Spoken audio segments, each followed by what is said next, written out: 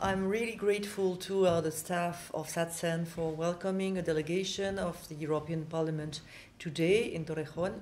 I think it's important to give visibility to the activities of SatCen, which is a tremendous asset for our European sovereignty.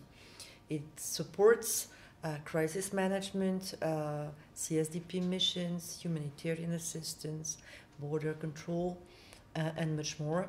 Uh, we are lucky to have started developing um, this uh, instrument, providing security from space and security in space.